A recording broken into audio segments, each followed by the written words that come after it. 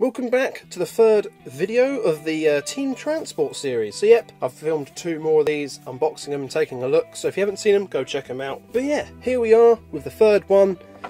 We have the Nissan Skyline Super Silhouette, which is very cool.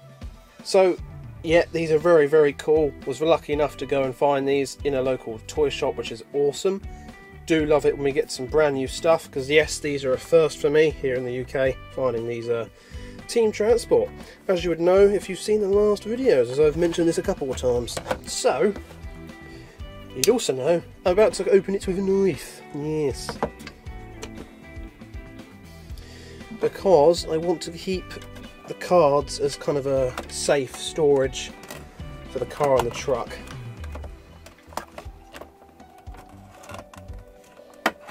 Yeah, I definitely think these are worth opening up and checking out as it's something I've never seen before.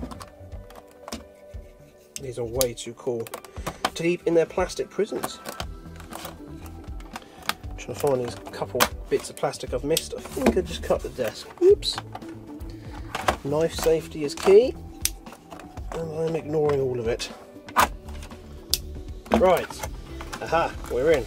We're in. We can open it up try and get the plastic insert out. There we go. I think we've just got the one piece of plastic on this one too. Excellent. Right, there we go. It is out. Right, so, like normal, let's take a closer look at the truck itself. I do like the fact it's got the cool looking alloy wheels on this one. That's really nice. So this is the Fleet Street. Nice die-cast base and die-cast body, Motul livery, front light details, got some spare wheels on the top there of multiple variety, which is pretty cool. Does this um, move? Yep, so it slides back and tilts down to let the car on, that's really really cool. Or just comes off completely, I don't think I was meant to push it down like that. So yeah, now we have the awesome uh, flat loader.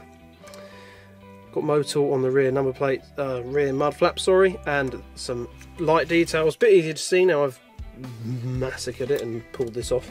Should we just, oh yeah, it just clicks back in. So I think it's just meant to slide back like that. Doing that breaks it off. Mm, bit disappointing because um, you, you, I mean you can't really load the car. I mean you're just gonna make it a drop top and your windscreen is gone. Yeah, pretty cool. Advan logo there, little side markers, LBWK there.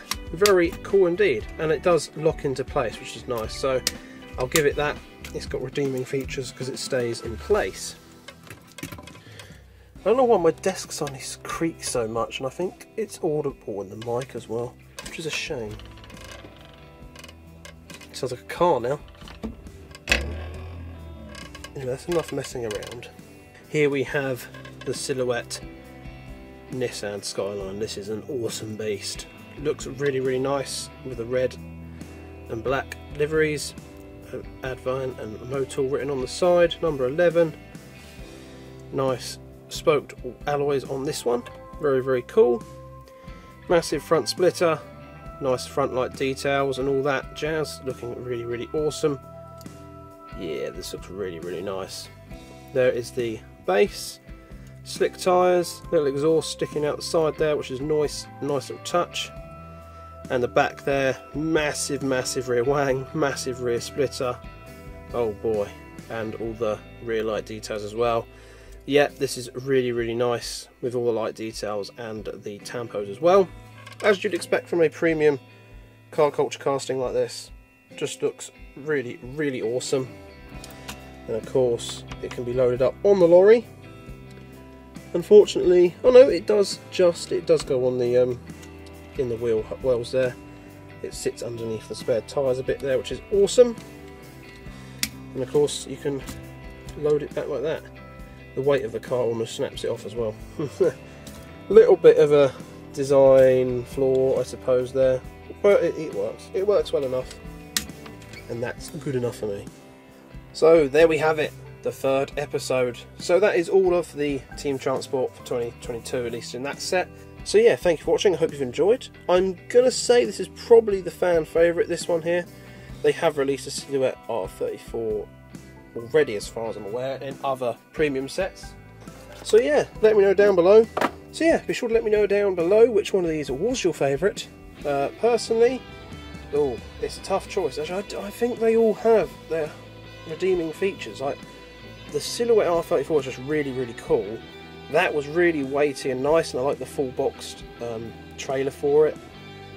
But that had the whole lift up feature, and it had the little stand to hold it up. So that was just absolutely epic. So, mm, really hard choice for me. I think that just about wins, I think, for the cool feature of it um, standing up and the lorry being pretty neat too.